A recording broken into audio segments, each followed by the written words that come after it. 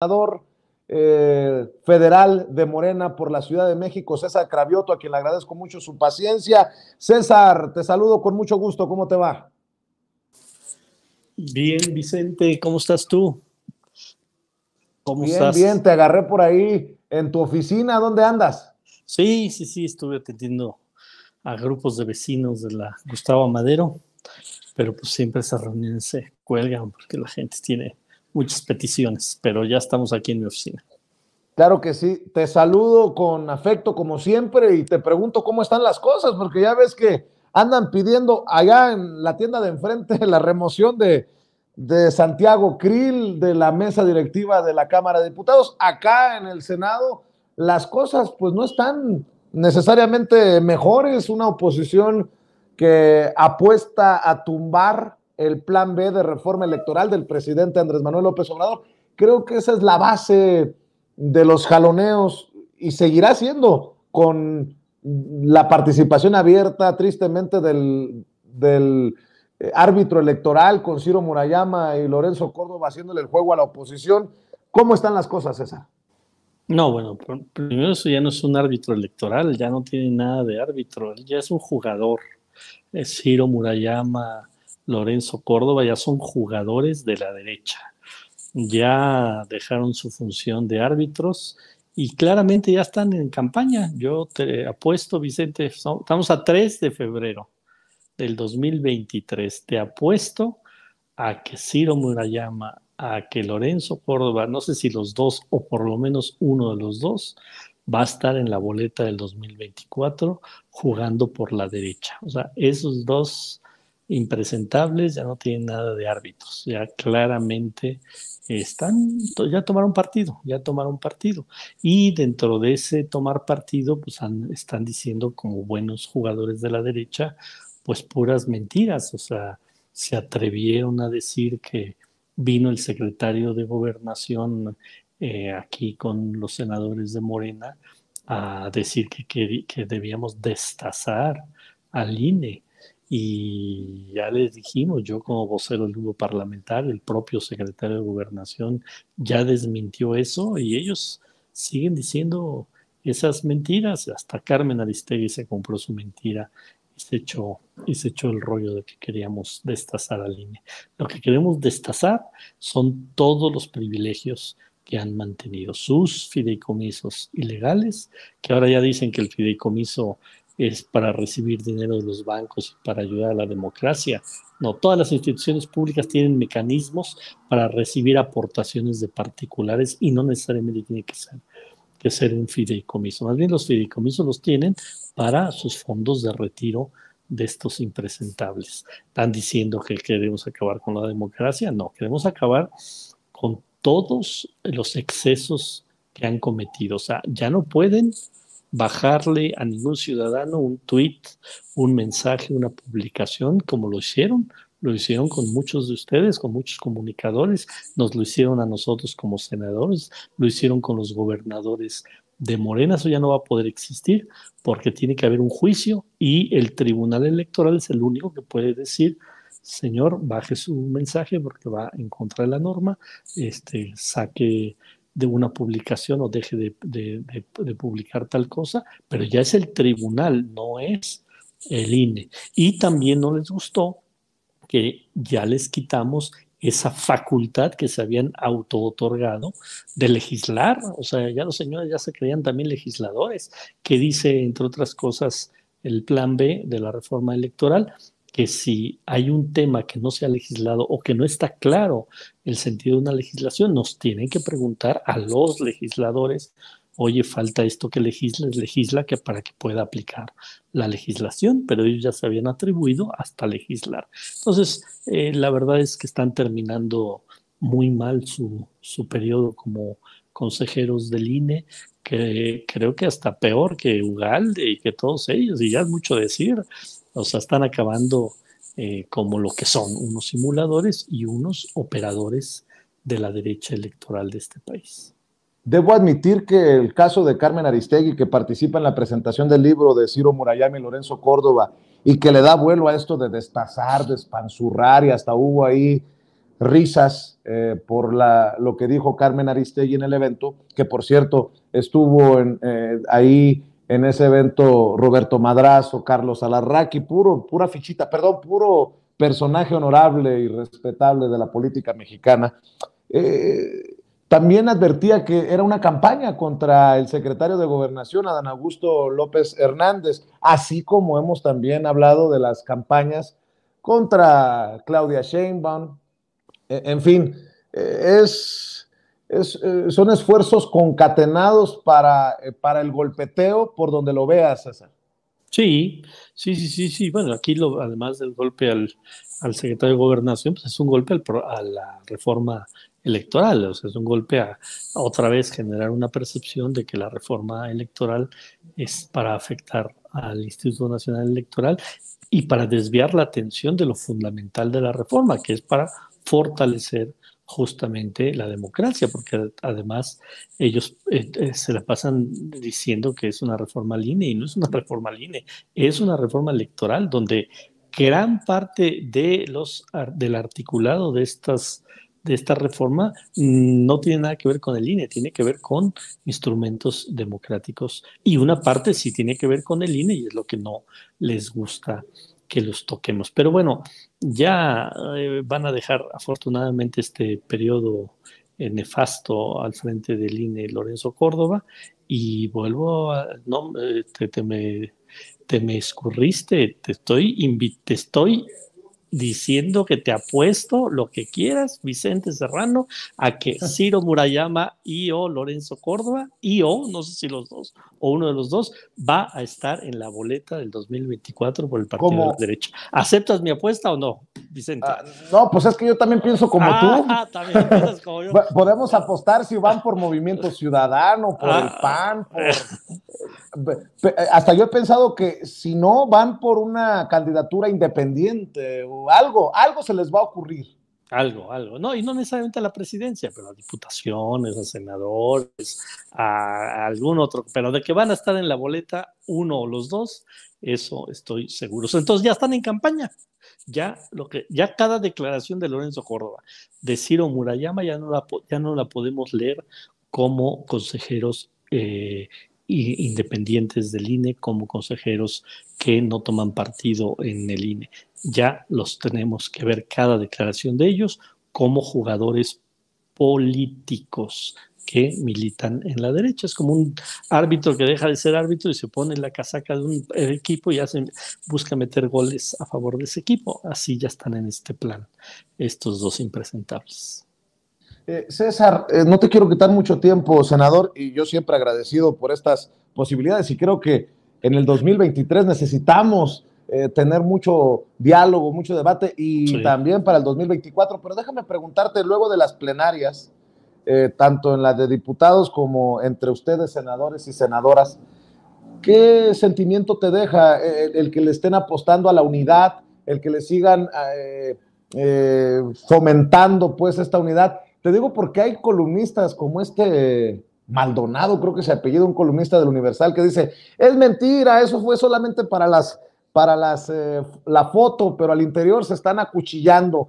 Eh, yo vi a un secretario de gobernación, Adán Augusto López Hernández, a una jefa de gobierno, Claudia Sheinbaum, eh, a un Mario Delgado, hablando de la unidad. La verdad, te soy sincero, no le puso mucha atención a Ricardo Monreal, que hoy fue exhibido, por cierto, por el presidente eh, Andrés Manuel López Obrador. Pero, ¿cómo, ves rumbo al 2024 este llamado a la unidad y si en determinado momento estaría en riesgo la unidad con lo que ves, con lo que escuchas?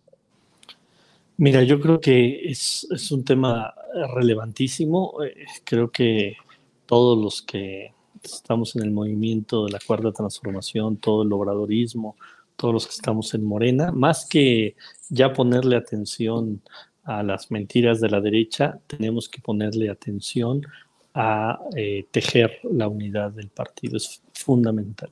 O sea, vamos a ganar la elección del 2024 y lo único que podría dificultar, dificultar este triunfo es que no haya unidad. De todos vamos a ganar la elección, eso que quede claro, vamos a ganar la elección del 2024.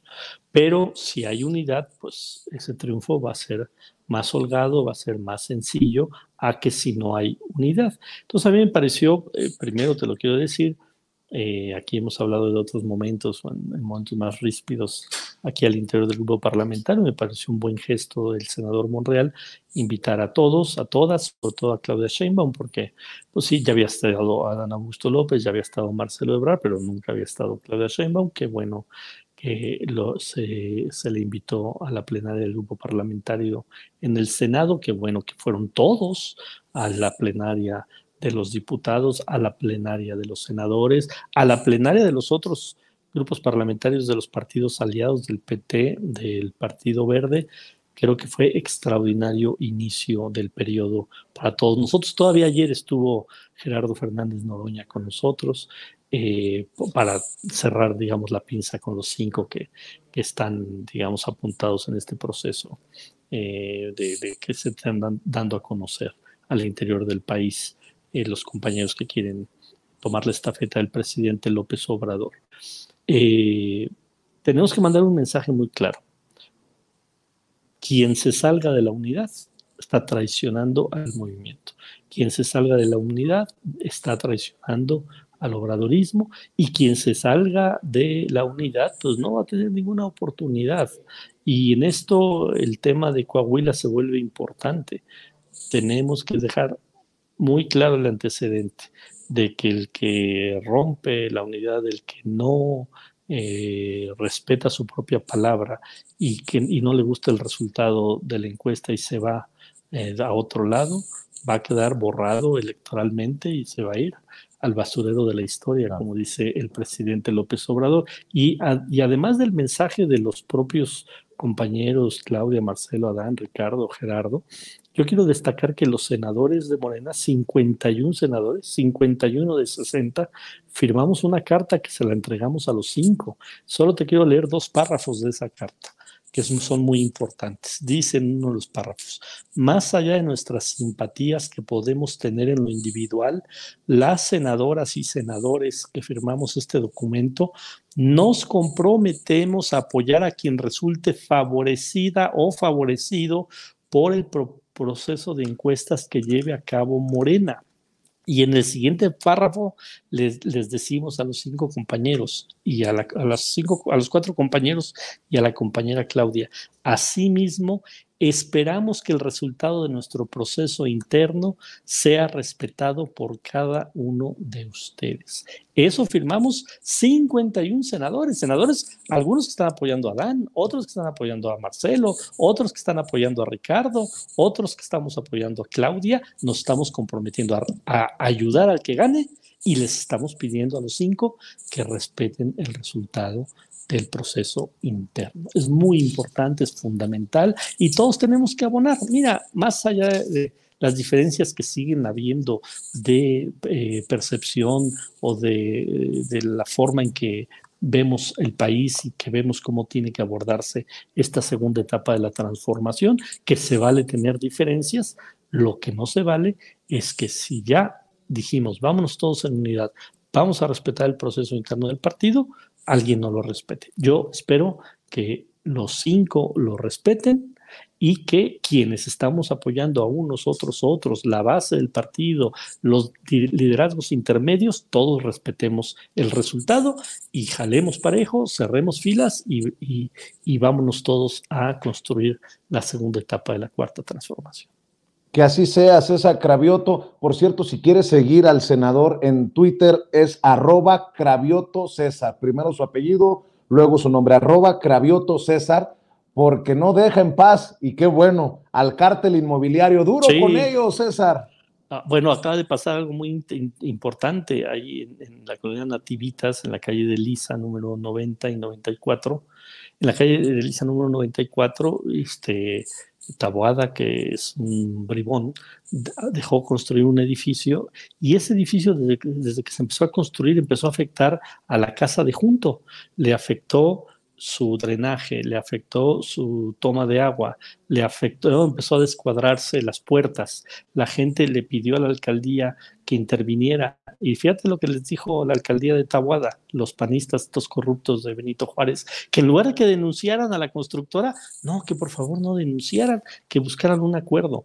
Bueno, los vecinos en buen plan buscaron un acuerdo, les pusieron eh, eh, una tubería de agua mal puesta, tuvieron una fuga de agua, les afectó porque les llegó eh, una enorme este, factura del agua, pero pasó algo más grave. Hace, hace 10 días se les incendia la casa y se les incendia la casa porque refieren algunos vecinos que los trabajadores de la obra estaban haciendo la cometida de luz y empezaron a sacar chispas. El chiste es que se les incendia y ni así fue la alcaldía para clausurar, ni, ni, así fue la alcaldía para exigirle a la constructora que atendiera. Me entero del caso, voy a, doy una conferencia ahí, eh, obviamente mando la información al INVEA, Ciudad de México. Afortunadamente, ayer clausuran la obra y todavía el cínico y corrupto de Tabuada se atreve a mandar un tuit este, retando a, a la vecina, diciéndole que la estamos manipulando. O sea, en lugar de que atiendan a los vecinos, se enfrenta contra los vecinos. Evidentemente la vecina ya le contestó que nunca han sido atendidos por la alcaldía. Bueno, afortunadamente ya se clausuró la obra, vamos a ayudar como, como movimiento. Le estamos pidiendo también al gobierno de la ciudad que ayude a, esta familia, pero no voy a dejar de señalar todas las corruptelas de estas gentes. Son, fíjense, fíjate lo que hace Tabuada. A la una de la mañana lo, llama eh, Sandra Cuevas y ahí va corriendo a la alcaldía de Cuauhtémoc a hacer una conferencia de prensa. Seguramente le dijo, oye Tabuada, si no vienes en este instante a respaldarme. Y lo mismo seguramente le dijo a Lía Limón, si no vienes en este instante a respaldarme, voy a decir que también en sus alcaldías hay volantes contra la jefa de gobierno. Entonces ahí están a la una de la mañana, hasta en pijama llegaron, dieron su conferencia de prensa contra Sandra, a favor de Sandra Cuevas, pero se incendia en la casa de un vecino de la Benito Juárez, donde el señor gobierna y no es ni para pararse y no es para atender. La gente se molesta, acude con nosotros, le ayudamos y en lugar de que acepte que, que, no, que no la atendieron, se va encima de la vecina. Así es como gobiernan los, los alcaldes panistas y sobre todo los del cártel inmobiliario en esta Ciudad de México. Duro con ellos, mi querido César. Te mando un abrazo y estamos al pendiente para seguir el diálogo. Cómo no, Vicente, un abrazo a ti, a tu auditorio, a seguirle dando. Y felicidades por tu cobertura de lo de García Luna, que es otro tema que los panistas parece que parece que no quieren que se hable nadita, pero qué bueno que medios como tú están dándole seguimiento al tema. Gracias, César, por las generosas palabras. Se hacen pendejos. Mi querido César, un abrazo. Adiós. César Cravioto, el senador. Oye, nada más hay que. Perdón. Dime. Perdón, nada más recordar, porque lo de García Luna no solo, no solo, era el, no solo fue el responsable de la seguridad de este país por dos sexenios, sino que tuvo un impacto político. Hay que acordarnos quién fue la candidata a jefa de gobierno en la Ciudad de México en esas épocas. Pues la señora este, Wallace. O sea, ya se nos olvida. García Luna puso al candidato del PAN en la ciudad, a jefa de gobierno que fue la señora Wallace. O sea, no solo fue el superpolicía en dos sexenios, sino era un operador político del PAN. Y todos estos que ahora andan aquí pegándole todos los días al gobierno de la ciudad, al presidente de la República, le hicieron campaña a Wallace. Xochitl Galvez, Kenia López Ramadán, eh, Jorge Romero, Tabuada, todos ellos claro. le hicieron campaña a Wallace, o sea, a la candidata de García Luna. Pues te mando un abrazo, César. Seguiremos hablando de estas cosas. César Cravioto, senador de la República por la Ciudad de México, hablando con nosotros sin censura, obviamente de Morena. Y déjeme